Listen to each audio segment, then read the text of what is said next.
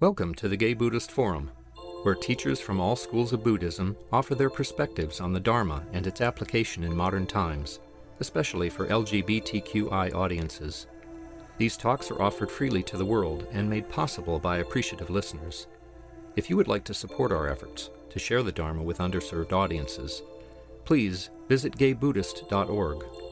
There you can donate, find a list of upcoming speakers, or enjoy many hundreds of these recorded talks dating back to 1996. What a wonderful sense of stillness today. I invite you to say your name, which is our custom as we go around the room, and um, I invite you to leave some space to actually sense the stillness in saying our name. I'm Lynn. I'm Ernest. I'm Joe. My name is Gary. My name is Michael. I'm Carl. My name is Prasada Chitta. My name is Todd. My name is Ryan. I'm Monty. Dennis. My name is Ryan. I'm Jack.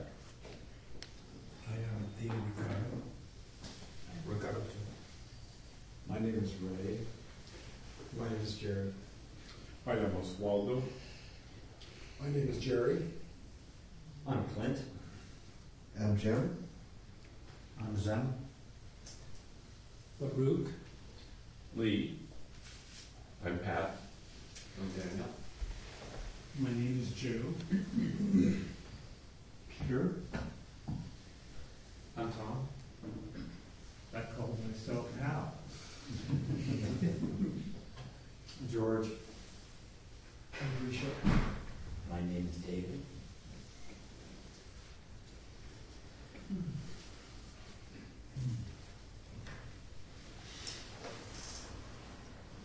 Our speaker today is David Lewis, who is familiar to the Sangha since he's been doing uh, a wonderful four part series on the four foundations of mindfulness.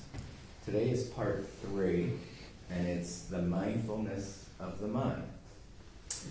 Uh, David has been following the Dharma path for 40 years and has a degree in comparative religious studies. He attended his first retreat in the Shambhala tradition at the age of 17 and has been practicing insight meditation since moving to San Francisco over 25 years ago. David teaches an insight meditation course at the Mission Dharma Sangha, led the Gay Buddhist Fellowship's 2013 fall retreat, and facilitates a weekly meditation group for seniors. He is a graduate of the Spirit Rock Meditation Center's dedicated practitioners program. Welcome back again, David. Thank you, Lynn. You have to shorten that bio, it makes me sound important. so, um, as Lynn said, this is the third part in a four, four part series on the four foundations of mindfulness, which um, is the translation for, uh, it's commonly what, what we call the Satipatthana Sutta, uh, Buddha's great teaching on, on mindfulness. And uh, four parts uh, aren't nearly enough to cover it. Um, the great American meditation teacher Joseph Goldstein has um, a wonderful series of talks that you can find on dharmaseed.org about the Satipatthana Sutta, the same topic. And I think there's like 35 or 40 talks. So we can do all year. There's so much material in the sutta. The, um, in case you weren't here, or even if you were, as a fresher, the first foundation of mindfulness is the body. And the foundations of mindfulness is basically what we can, what we do with our mind when we pay attention to our experience. It's also a description of our experience. Uh, so the first foundation is, is uh, mindfulness of the body. And if you no, go no further than that, if in your mindfulness practice, your meditation practice, you do nothing but pay attention to the body, you, you won't get far. Uh, the Buddha said that um, everything we need to know and everything that there is to be learned is contained in this fathom long body. The second foundation of mindfulness um, is feeling tones. The, the basic kind of primal quality for each one of us is different for each one of us of, of all experience being either pleasant, unpleasant, or neutral. That's what we talked about last time. So those two, the first two foundations, the feeling tones and the body, um, are kind of precognitive activities. Today, I'm going to talk about uh, the third foundation, which is mindfulness in the mind. And uh, we're getting into the cognitive aspect of what goes on with our mind um, and what comes up for us when we meditate, when we're mindful. Thoughts, and also emotions and feelings and moods are all covered by the third foundation of mindfulness. I recently saw a, um, interview with Sharon Salzberg, who's a, a really wonderful meditation teacher, and it was entitled "Nobody Fails at Meditation." And the point she was making is that um, it's not necessarily so important what we notice happening in the moment, in the present moment, as how we respond to that. And so that's kind of the way I want to view thoughts and feelings, how, how we respond to them. Um, in her, in her interview, Sharon Salzberg was talking about um, the number of people that, that come to her and say, well, I can't meditate, or I failed at meditation, or it just it doesn't work for me. And she makes the very good point that that's basically impossible. That, that's like saying you're not able to be in the present moment.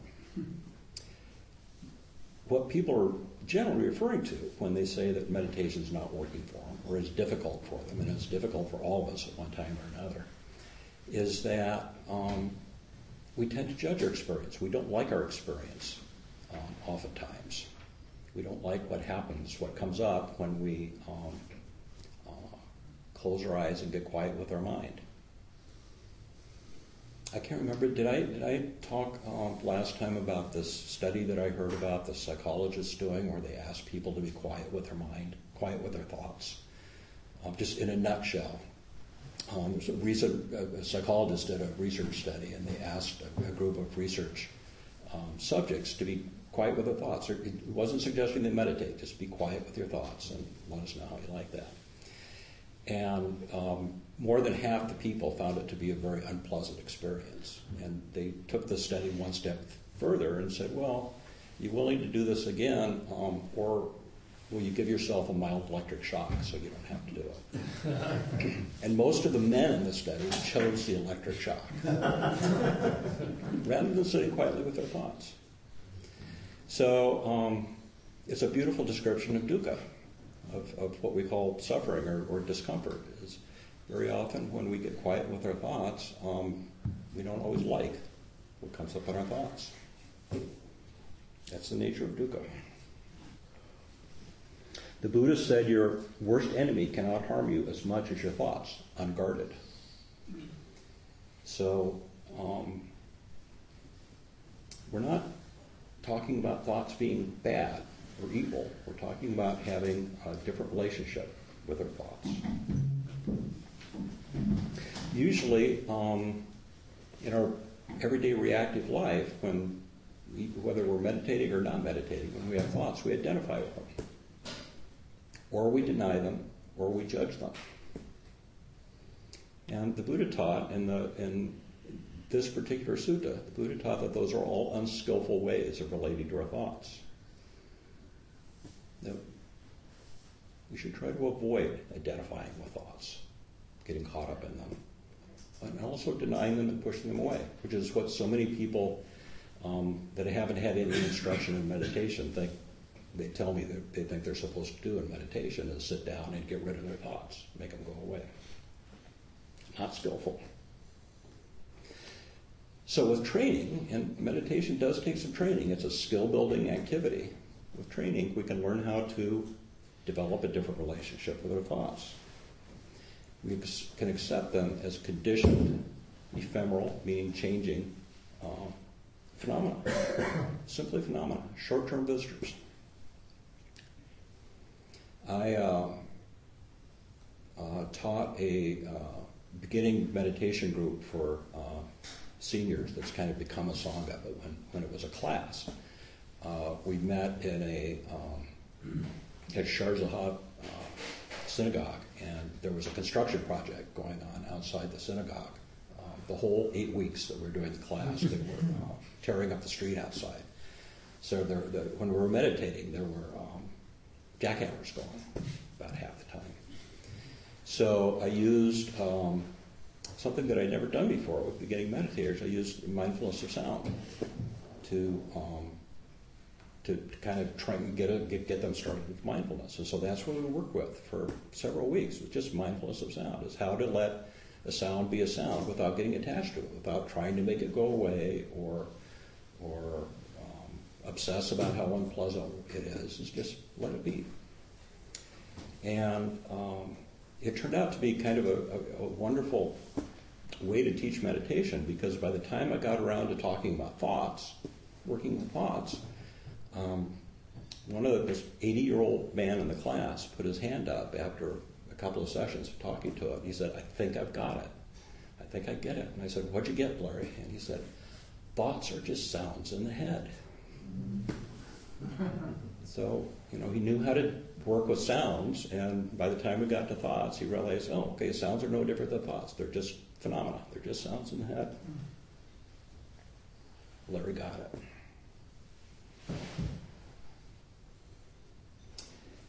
Joseph Goldstein says, Notice how we build houses out of our, sto- uh, out of our stories and then inhabit them. Notice how we build houses out of our stories and inhabit them. That's what we do with our thoughts, is we, we create, a whole sense of self, a whole sense of, of reality, and then we move into that house. I think that's a paraphrase from a Rumi poem that I'm kind of vaguely remembering about um, tearing down the house that you've built. So, um, a great meditation instruction to um, kind of put on the back burner and remember, and you can ask yourself this anytime you're meditating or not. A really wonderful meditation instruction is to ask yourself, what's going on and how am I responding to it? Just two, those two very simple things. What's going on and how am I responding to it? The Buddha points out in the sutta that um, he, he, talks about um, the defilements, and I think you've all heard about the defilements. They're greed, aversion, and delusion. So the Buddha said in, in working with our thoughts, you might start by just simply noticing whether greed, aversion, and delusion are present or absent without judging it. Simply notice that they're present. So it's, it's I know it's hard when, say, aversion is up, or maybe anger. Maybe you've got some anger going on. Is we want to say, I'm angry. That's identifying with anger. Um, but in mindfulness practice, we tend to try, try, to use different language around that. Encourage people to say, notice that angry, anger has arisen. Anger's here. It's just a passing phenomenon. It's not necessarily my anger. And it's not necessarily permanent. We don't have to identify with it. So um, it's another useful meditation instruction is to notice the presence or absence of greed, aversion, or delusion. Greed is, is desire, wanting things, maybe just wanting something else to happen. When we're meditating, maybe we want to have more pleasant thoughts, or we want to have a pleasant reverie, or we want the bell to ring. It's all aspects of greed. Aversion includes um, ill will, but also boredom or frustration. Um, wanting things to be other, again, wanting things to be other than they are. And delusion is bewilderment, confusion, or doubt. So when we have um, unwholesome mind states, it's almost always one of those three. They can almost always one of those three. You can identify that. And when we have wholesome mind states, in the sutta, we talk, uh, Buddha talks about unwholesome mind states and wholesome mind states. Wholesome mind states are the absence of those. um, happiness, freedom, liberation. We tend, especially us Westerners, to focus more on the unwholesome. We notice what's wrong, what we don't like, what we're uncomfortable with. Uh, but it's a very skillful thing uh, and quite a beautiful thing to notice the absence of those things. when you don't have unwholesome mind states, it might seem neutral, but um, it might be the nature of mind that you're experiencing. So another way of putting that is to notice what leads to um, happiness or liberation, and what leads to suffering, in terms of what's going on with your with your own mind. So, um, in the third foundation of mindfulness, the Buddha is suggesting that we do some investigation, and by investigation of what's going on in our mind, with our thoughts or our feelings or our moods, investigation doesn't mean thinking about thinking. Investigation means just noting thinking, and maybe noting how it feels in the body, noting what's, what's coming up, and how I respond to that. So, for instance, this morning during your meditation, perhaps um, you might not have been aware of it, but maybe for somebody, boredom came up. And then maybe the thought came on that, that, oh, I shouldn't be bored, or I don't want to be bored. I want to be interested. I want to be engaged. So a judgment follows on, on that mood that arose. Um, there's nothing wrong with boredom coming up in meditation. All kinds of stuff comes up in meditation anger, frustration, happiness, peace, tranquility. Um, you name it, they're all passing phenomena. So if we can refrain from judging our experience, um, we might have a more skillful meditation.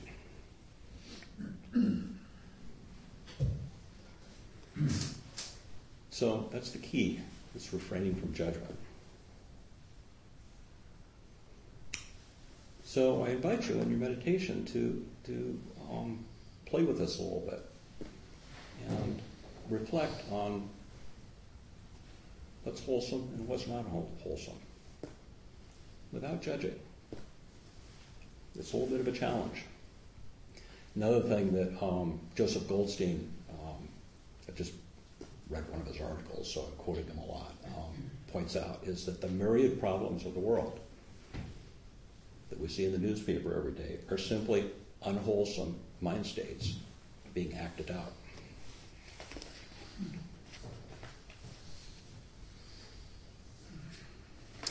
So I wanted to talk a little bit, um, not just about thoughts, but also about moods and emotions, which are included with thoughts in this uh, in this sutta.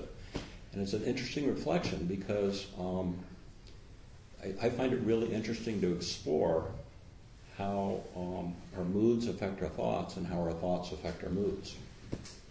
They're just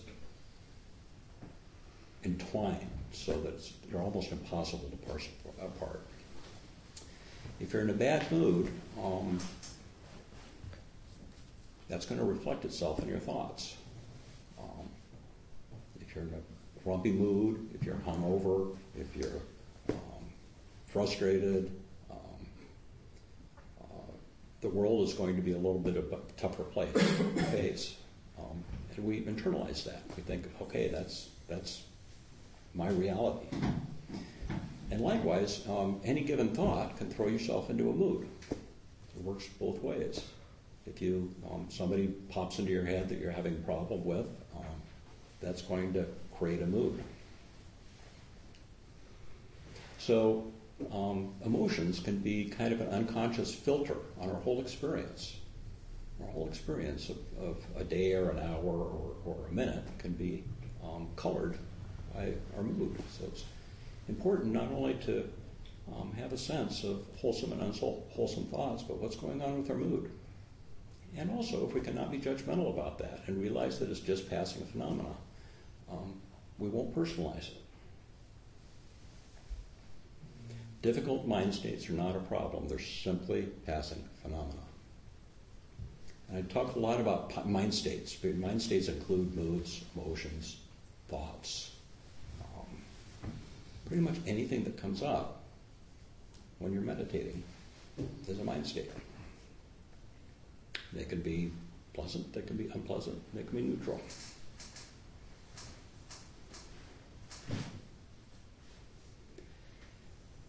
So I know you've, um, most of you have heard this tool from me before, but um, I'm going to repeat it because it bears repeating, and it's a really handy, um, I think, useful uh, tool for meditation practice.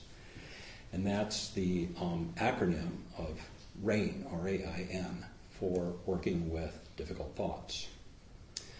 Um, the R stands for recognize. So say anger's up for you. First thing we do is recognize it. Oh, there's anger. Anger has arisen. If you can avoid saying, I'm angry, say, anger has arisen, um, it's useful. Just recognize it. Oh, there's anger. A, the A, R A I N, A in the acronym stands for accept. Like, okay, anger's arisen. I can live with that. It's just here. I'm not going to judge it. I trust like everything else, it's probably going to arise and go away, but it's here for the moment. The I in R A I N is investigate it. And again, this doesn't mean think about it, but rather, how does this feel in my body? What's going on? What's anger like? Maybe it's a contraction in the body. Maybe it's heat. Maybe it's energy. I notice all these things when I, the day after elections, when I reread the paper. Contraction, there's heat, there's energy. Um, there's even kind of a, a, a self-righteous kind of good feeling that's associated with it. Like, you know, I know better than they do. So investigation is how's it feel? And most importantly, the N in R-A-I-N is not identify. Don't identify with it. This is just anger arising. Anger happens. Or happiness arising. Or joy. Or peace. Ah, peace. How's that feel? Warm. Opening. Accept it. Appreciate it. Enjoy it. And know again that like anger, it's a passing phenomenon. So working with thoughts, whether they're difficult, especially difficult thoughts, whether they're difficult or not. Recognize what's going on, accept it. It's, it's not our core um, habit is to accept difficult mind states. Investigate it. How's this feel in the body? What's the mood associated? How am I responding? It's another investigation. How am I responding to this? And not identify. Like, okay, this is just anger. It's not necessarily me or mine.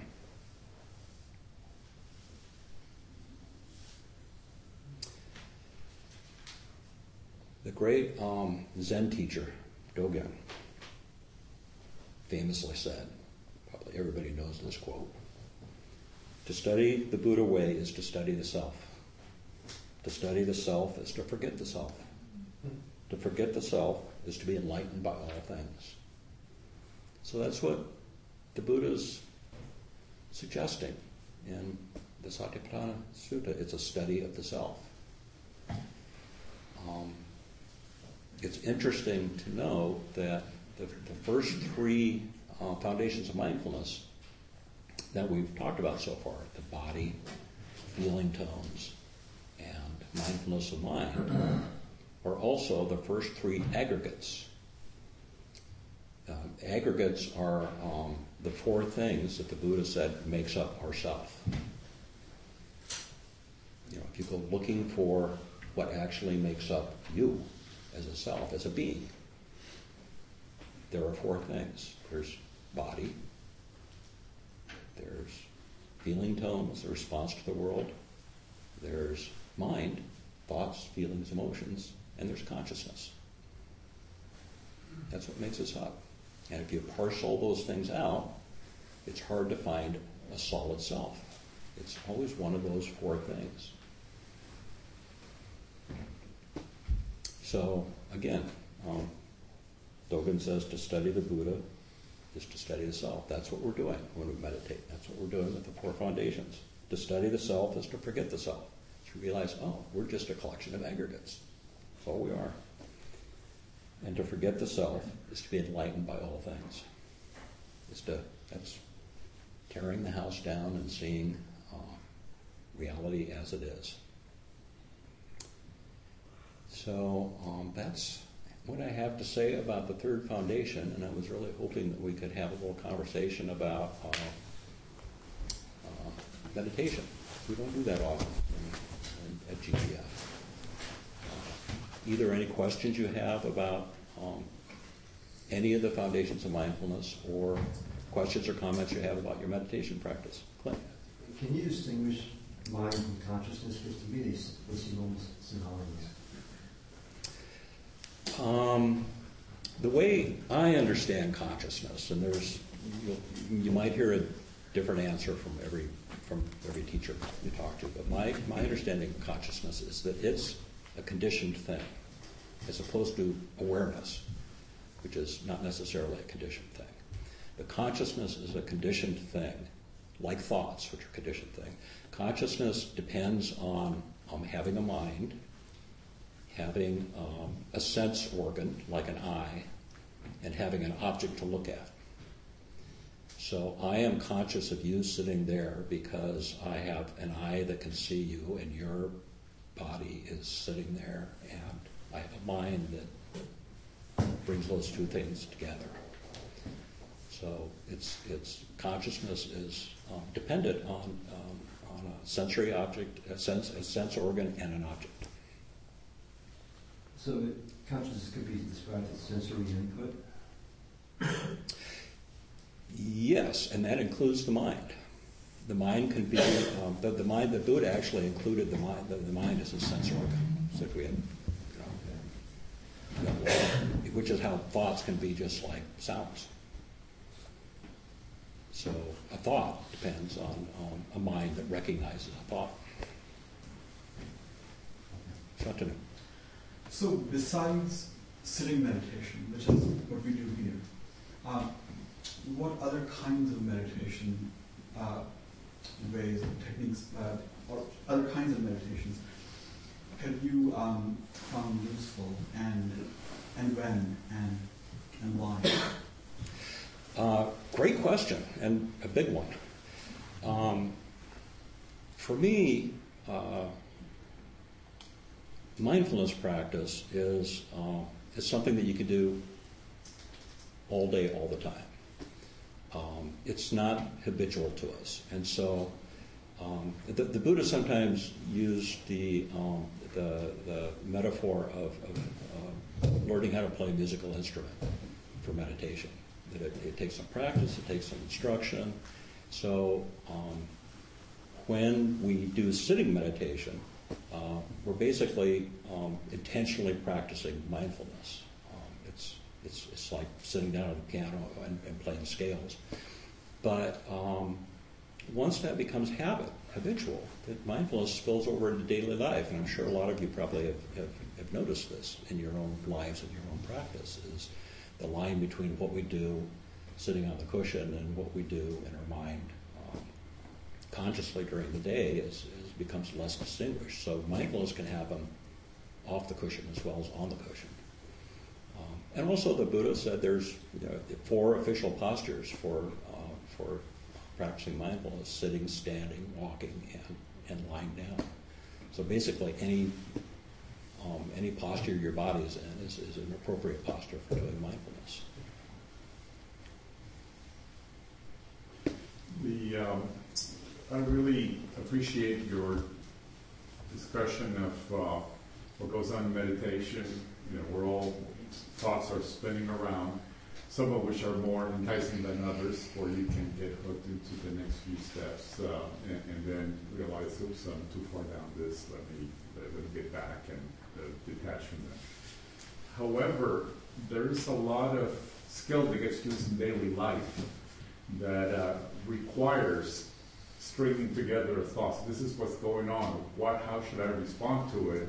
And, and, and then plan the next couple of steps. You know, while you're doing that, of course, you know, you're caught up in the thoughts. And no, I, I don't, I don't have a particular specific questions, but there, there is this dichotomy. You know, there are times when to, uh, to let go, and other times that it's necessary, even in responding to a stimulus, like coming up of anger. Certainly have, you know, had recent experiences with that. That uh, came as a result of trying to put together a lot of information and, and supervising other people, helping, you know, that make that happen. You see what I mean? There's uh, anger can arise when you see things going awry, yeah, and how, how do you solve, you know, without stringing together those thoughts, you really cannot respond skillfully. Well, that's stringing together thoughts and problem solving is a is a skillful use of mind. We need it to to to get by in everyday life, as you're as you're so beautifully describing. So. Um, essentially, there's an aspect of that, as, as I'm saying, that's how we're how we can work with meditation is is to work skillfully with the mind as well. So um, again, thinking isn't the enemy. Thinking can be can be very useful.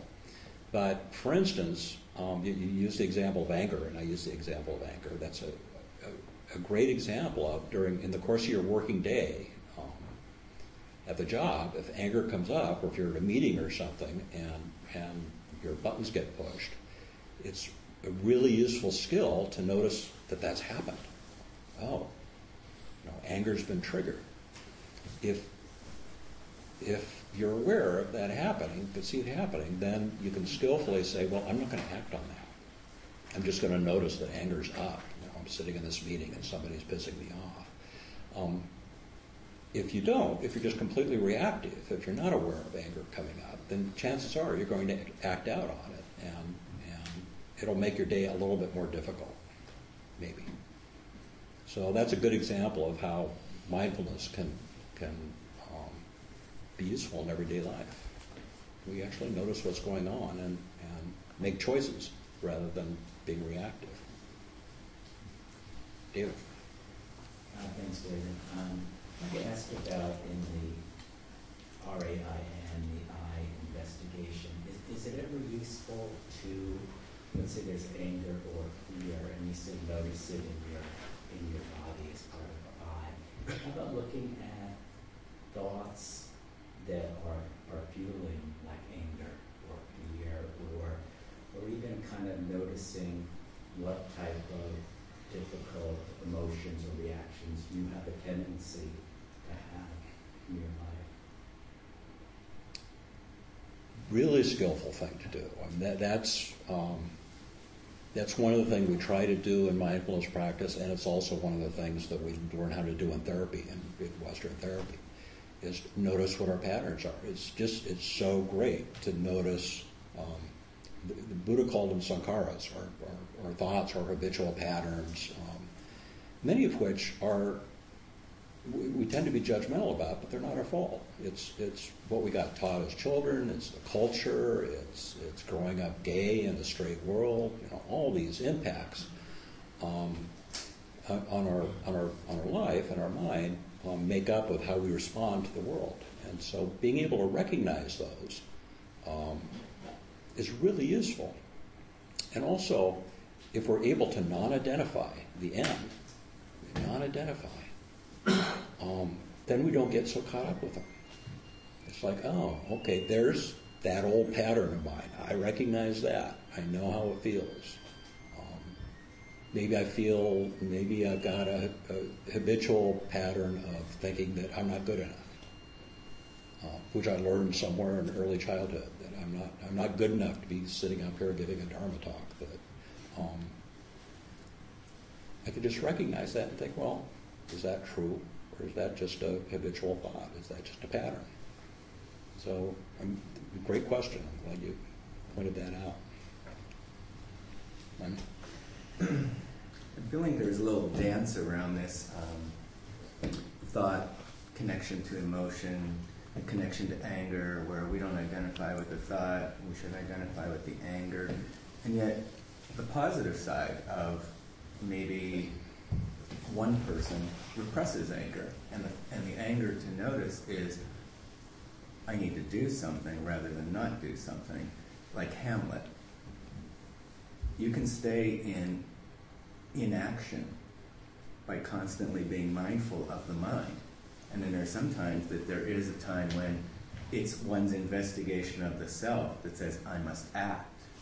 And in order to do that, sometimes you have to be notice of what the anger is telling you is going on in you to be able to act as well as to not react. Right. Not react from the anger, but to act from the self that needs to do something in order to continue the next step. So I, I, I, I hear a little bit of the anger, the negativity of anger, and in my life, there's a little bit of positivity of anger that needed to be, needs to be, but also balanced, but also to be recognized, accepted, and uh, utilized. Well, and indeed, sometimes anger is a, is a great motivator. Um, but the, the Buddha's encouraging in the in the third foundation is to look at its wholesome qualities and its unwholesome qualities, and to make choices. So, I, I don't mean to sound like I'm saying don't act, um, but act Right. based on based on skillful choices, based on wholesome um, mind states. Cool. Does that help? Oh, yeah. Anybody else have something to throw in about that? Joe? Yeah, well, it's, it's a little bit, uh, it's, it, it's definitely in the feeling realm, you know, anger's has a strong emotional feeling.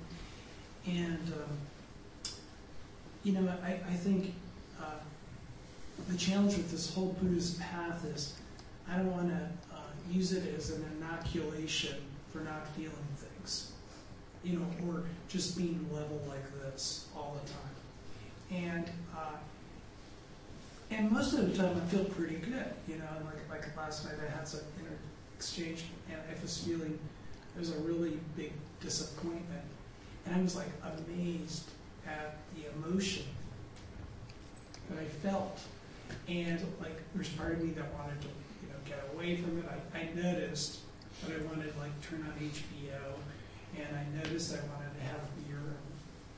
I sort of negotiated with myself, but I also just realized there was a plain quality of, of disappointment that I needed just to hold and um, and just be okay with that. Um, and maybe uh, what's what was the end uh, that you said? Non-identified. Yeah, I mean it, it felt real, but I also knew this would pass. But I think you know, 20 years ago, I would have done everything I could to distract myself from that feeling. Yeah. Um, but I don't know. But I, I, I also don't want to. I uh, I don't want to just like neutralize everything. Yeah, beautiful. That's a beautiful way of putting it. And and that's not what we're suggesting. That's not what the Buddha's suggesting. Is, is you know, do feel your feelings deeply, but notice what their nature is. Notice notice how they feel in the body, and notice their changing quality. Um, when we say I'm angry, um, that's kind of a solidification and a, and a, and a reification of anger that, that can make it last a whole lot longer than it might normally otherwise do.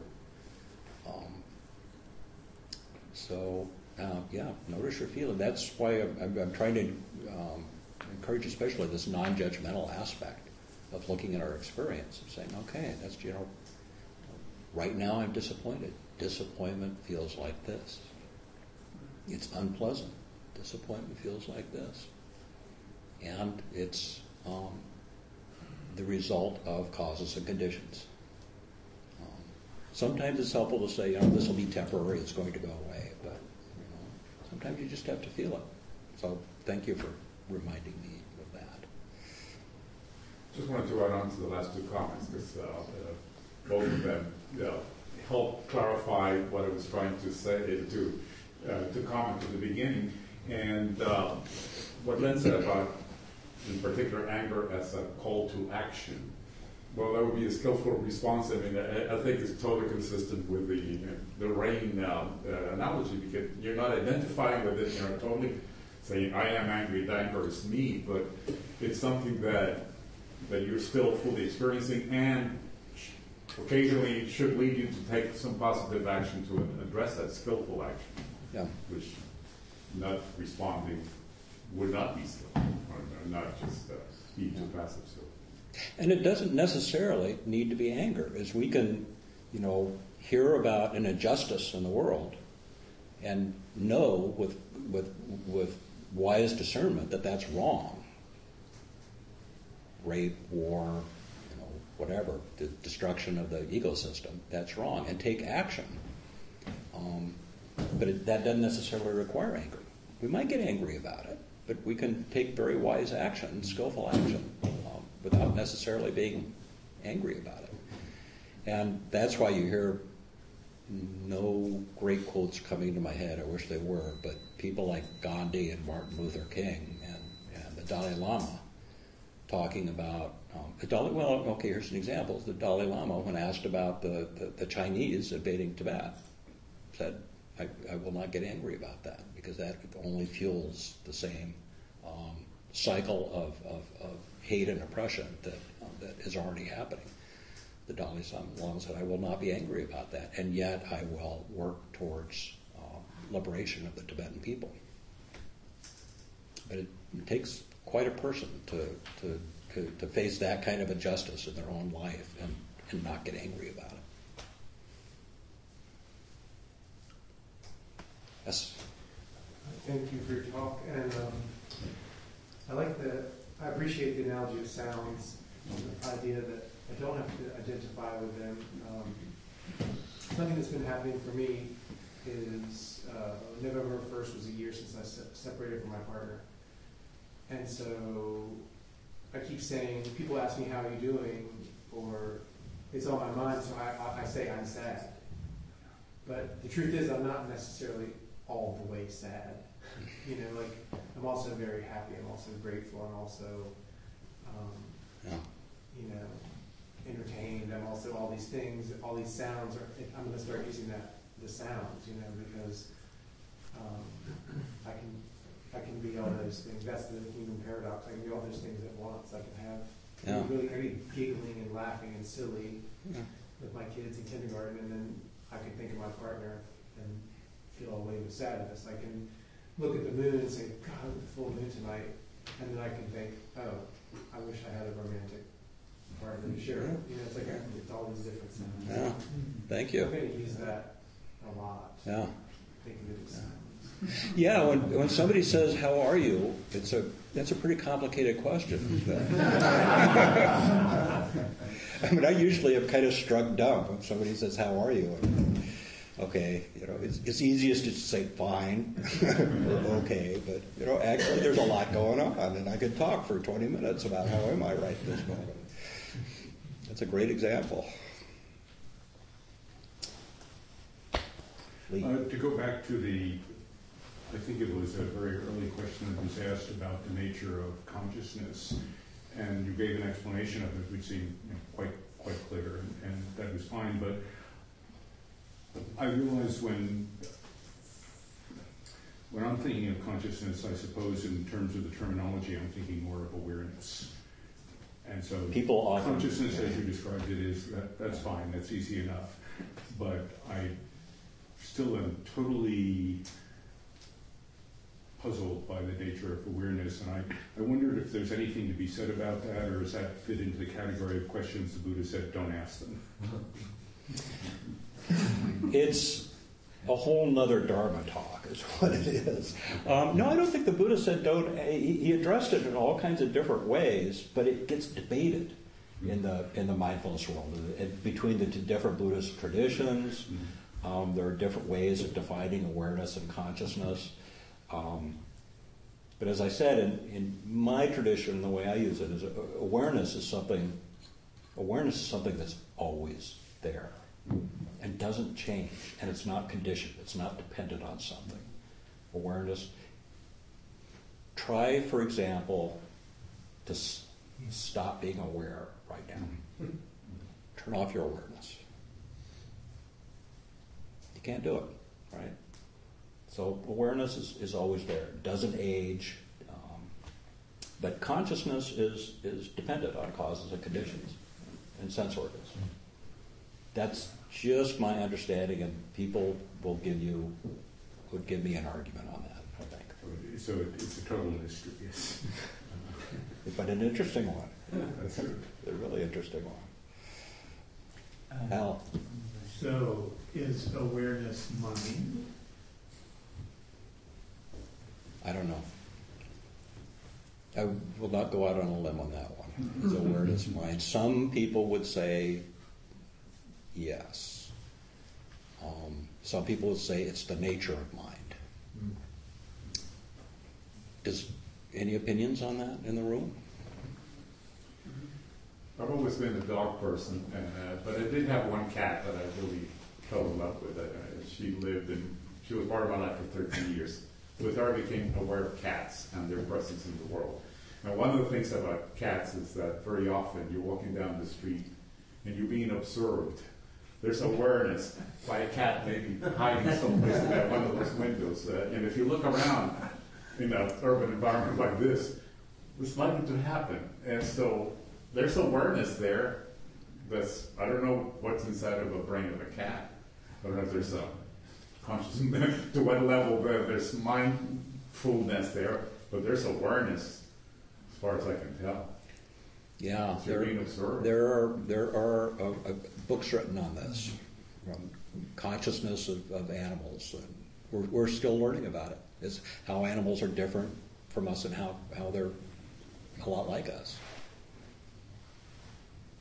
Al, you look like you have a just follow-up. have one follow-up, which is, there, I think we run into the limits of our sense, sensory apparatus. In order to pass into greater realms, it may be that mountains are aware, and we have no way of sensing that. And I certainly feel that planets have some measure of awareness. So where does it stop? I don't think it ever stops. That is uh, that is one of the great questions and a really interesting one. Um, you could go either way with it. I just read an article not too long ago, something that I didn't know, that we have smell receptors, scent receptors on our skin. Wow. Wow. and light receptors behind your knee. That's where. Do we? Yeah, they, they found that that's where we sense the seasons, is, you know, on your legs. So we shouldn't be wearing pants so much. You can reset your clock. I mean, they've done these experiments, that's very strange. See, I, that's fascinating. This is fascinating stuff. For jet lag? For jet lag, yes. Promise. Go online. Get rich. That's really interesting. I'd like to go back to anger. Um, I do so well. Look back at look back at anger as a plane. Yeah, right. Um, there, there's a lot about Christianity that, as an institution, I think is deeply flawed, more so than my experience of Buddhism. But, but Jesus' figure himself, I I feel powerfully attracted to. Uh, maybe even more so than I do to the Buddha.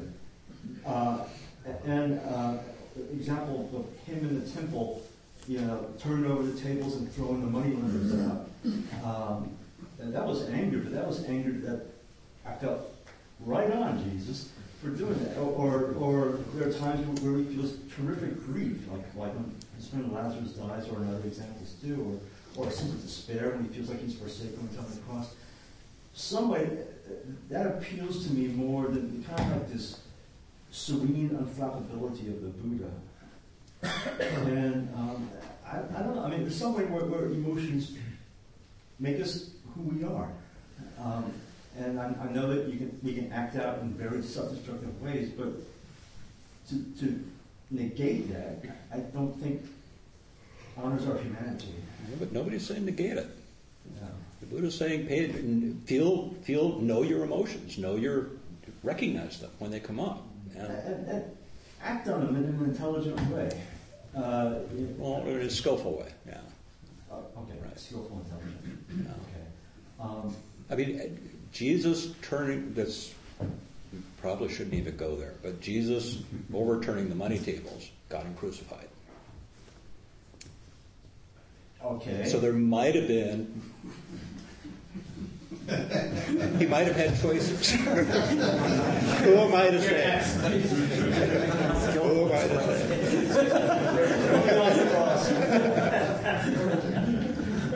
But so could we say that, that terrorism is justified? Well, that's a huge leap.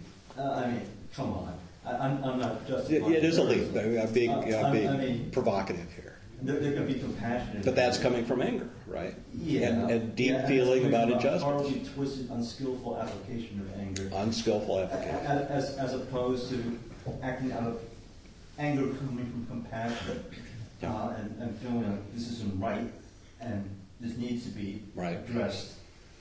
I'm going to, damn it, I'm going to, to do something about it. So beautiful. So anger can go either way, and, and when anger is tempered, as you just put, with tempered with compassion and and um, discernment and and thoughtful action, it's it, it can be useful, and it can also be very destructive. Well, yeah. What about the Boston Tea Party? Up, up against the history, huh?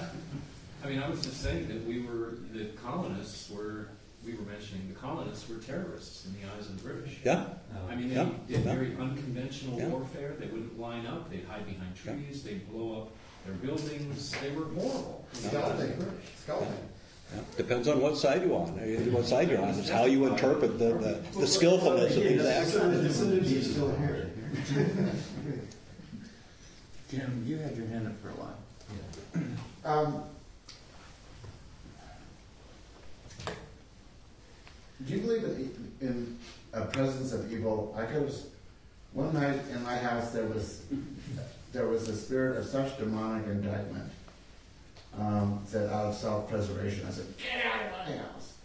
And it seemed to leave, but it was spooky. Um, that? I mean, I, I don't have, I don't, I, you asked, do I believe? I don't have a belief about that. I, personally, when that kind of thing happens with me, I don't, more often than not, I don't know whether it's my own mind that's creating something or whether there's something, you know, in, independent of me. I can't make that distinction, so I don't know.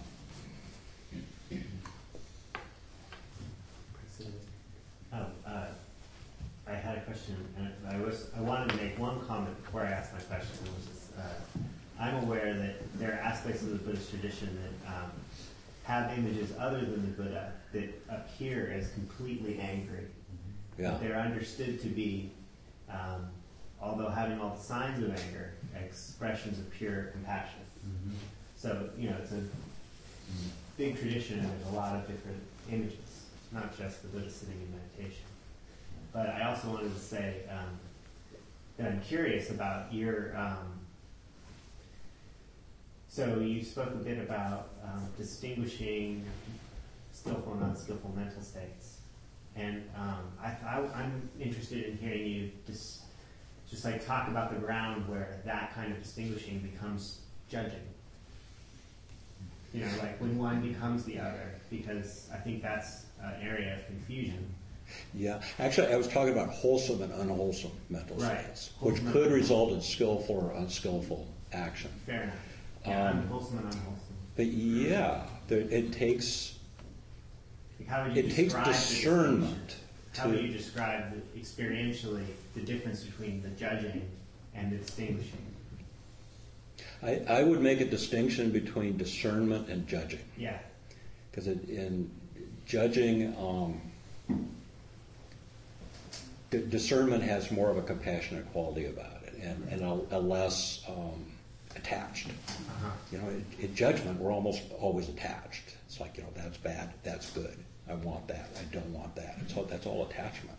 Yeah. Um, but what you're describing is, is, is, is, is a really interesting part of this whole investigation. It's part of the investigation is to look at what, you know, what's wholesome and what's unwholesome. Sometimes we might be wrong, or we might, you know, my wholesome might be your unwholesome. So it's, um, So it's ambiguous ground. Sometimes you're judging, and sometimes you're being compassionate. And yet, Very often I'm judging when I would prefer to be discerning. okay.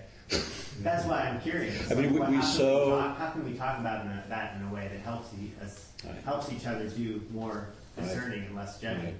Actually, last time when we talked about, um, I don't know if you were here when I, when I talked about the feeling tones, the vedanas, which are pleasant, unpleasant, or neutral. Um, we got into a discussion after a really interesting discussion about when that becomes judging. Is when when when I'm having a pleasant experience of something, automatically it becomes good, and then I want it, and this is that's the road to desire. And something that I experience as unpleasant is, is oh, I don't want that. I want that to go away. I hate it, and that's the that's the road to to aversion. So, especially with us Westerners, we're so prone to, to judging. That's our minds just go to judging so fast that if if we do nothing else in our mindfulness practice, I'd encourage you to notice to notice when judging happens and see if you can just, just notice it there without even necessarily saying that's bad, I have to stop it, because that's a judgment, right? So when we start judging, judging, it's a, it's a judgment. Lee, you had your hand up. Yeah, sort of, just, just a, a thought that came to mind about a way of distinguishing. If the thought that comes up along with it is, I am right and they are wrong, I am righteous and they are evil. You then probably- what generally arises out of that is not, not good action. Yeah. Yeah. And And how often we do that? I do that when I read the paper Me every too. morning. I, I do it when I see somebody, some driver doing something that I Yeah. think is wrong. Yeah. And that's, so, reading the paper, driving the car, and it- it- Shantanu, I think your question is about, you know, what, how do we practice mindfulness? You know, we're not on the cushion. Reading the paper, driving the car. Know, all these activities are great places to practice discernment and, and uh, mindfulness. Pat? Well, I'm, I'm, I'm still struggling with, with indifference, as, at least what I think is indifference. I, I mean, I get to the point in, in, in, in sometimes in meditation where I really do feel that there's no attachment to the thoughts that are coming through, whether they're desire or fear or uh, emotional.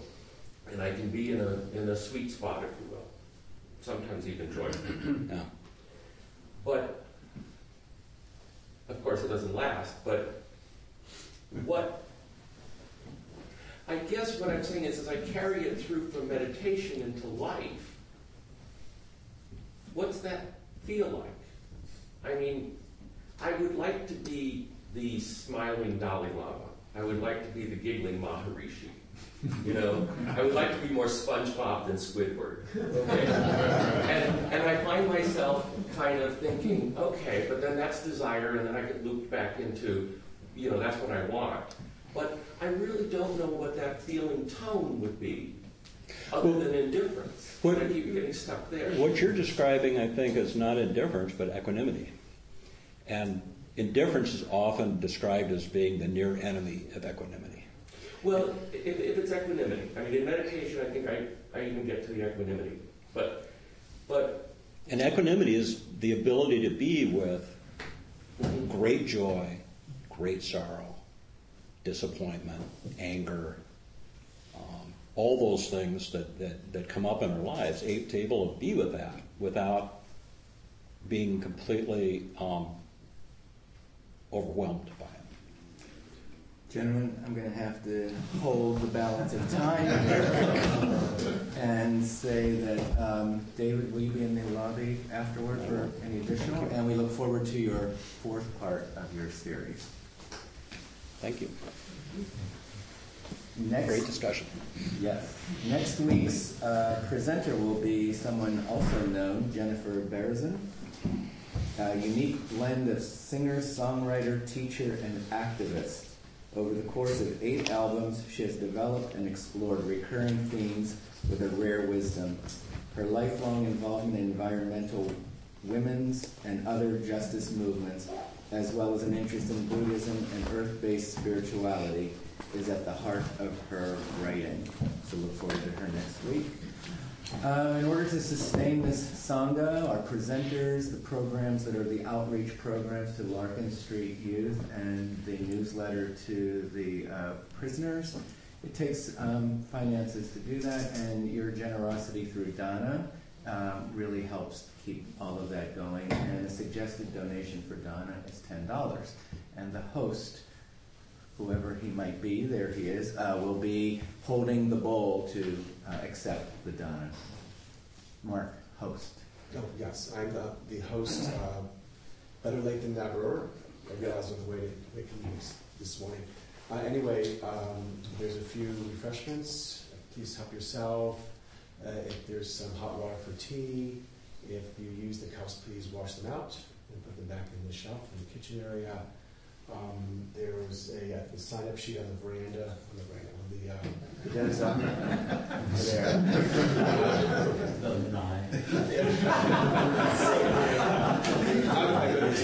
um, and then a bunch of us, um, sometimes we meet at 12.30 to go out for lunch, and uh, I'll be walking the demo.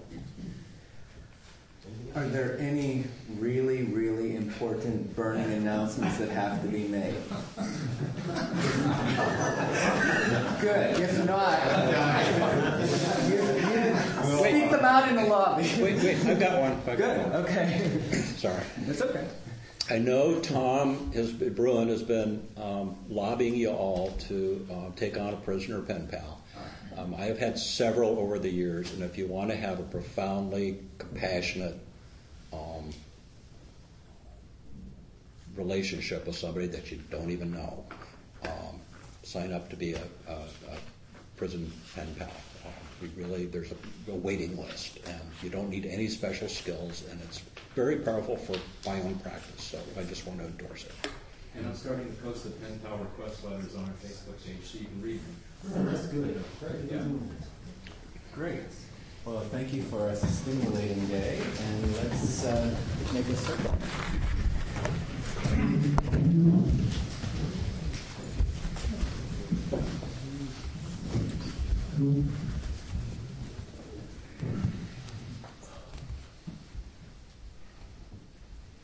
By the power and truth of this practice, may all beings have happiness and the causes of happiness.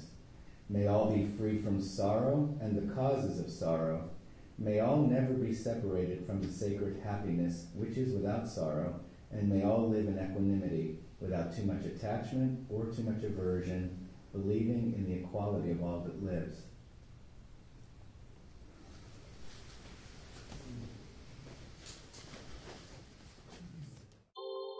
Thank you for listening to the Gay Buddhist Forum. If you would like to hear several new talks per month and be notified of upcoming speakers so you can participate live, please subscribe to this podcast, like us on Facebook, and join our mailing list by visiting gaybuddhist.org.